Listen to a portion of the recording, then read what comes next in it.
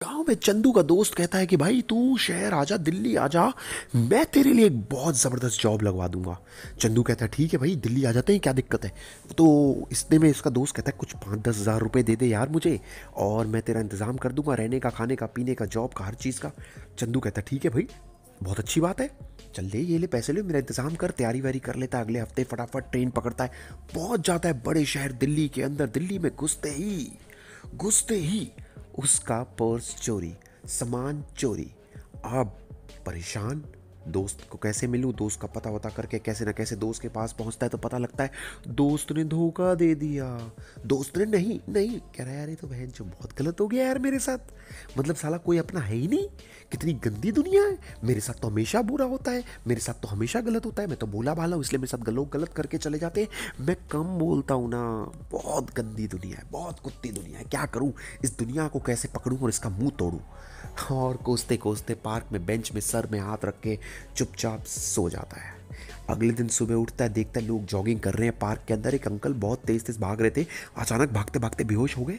छाती में दर्द हो रहा है, किसी ने मदद नहीं करी, चंदू ने फटाफट उनको उठाया, अस्पताल ले गया, अस्पताल ले जाकर उनकी मदद वदद करी। अब अंकल ने उसको रोक लिया, भाई, तूने बहुत बढ़िया आदमी है, क्या करते हो बेटा?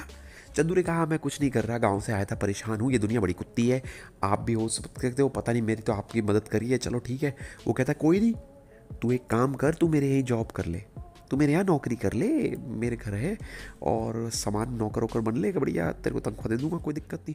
चंदू कहता, ठीक है, कर लेते जी। बढ़िया, काम वाम करने लगता है। पतला दुबला चंदू, पतला दुबला चंदू खूब खा पी के दस किलो वज़न बढ़ा लेता है। मतलब पचास किलो का वो होता है, साठ किलो का हो जाता है।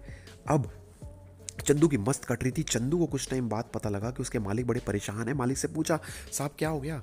साहब कहते हैं मेरे वाइफ के मेरे साथ झगड़ा चल रहा है अकेला मैं इसलिए हूँ उसने मेरे से डिवोर्स का केस डाला अपने बॉयफ्रेंड के साथ भाग के यार। तो चंदू कहता है बहुत गलत हुआ सर आपके साथ। तो अब ऐसे में मालिक कहता है गलत तो तेरे साथ हुआ है। हम्म, नौकर सोचता है गलत आपके साथ हुआ बीवी आपकी भाग गई है। दोनों एक दूसरे को गलत सोचते सोचते अब अंकल परेशान चलो कुछ साल तक केस चला अंकल का जो परेशानी थी वो ख़त्म हो गई क्योंकि केस अंकल जीत के कोई पैसा नहीं देना पड़ा। बीवी को एक रुपया नहीं देना पड़ा। अब ऐसे में अंकल बड़ा खुश। अंकल ने बुढ़ापे में जाते जाते अपनी सारी जायदाद चंदू को दे दी। वो चंदू जो अक्सर अपने आप को कोसता था कि मेरे साथ हमेशा बुरा होता है, उसके साथ सब कुछ अच्छा हो गया अंत में।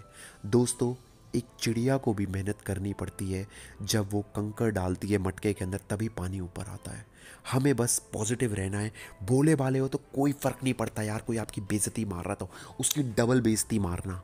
आप शरीफ होना तो उसको उसके, उसी स्टाइल में उसका मज़ा चखाना, ताकि उस ज़िंदगी में आपको कभी तो भी वो दोबारा अपना दोस्त मिला उसी शहर के अंदर। अब चंदू अमीर था तो चंदू ने अपने दोस्त को मुँह नहीं लगाया, और उसका दोस्त फिर सोच रहा था कि वो कुछ पैसे ऐंठ ले अपने दोस्त से, मगर उसने मुँह नहीं लगाया। और उस टाइम चंदू के दोस्त को सबसे ज़्यादा पैसे की ज़रूरत थी। दोस्तों, यही कर्मा होता है।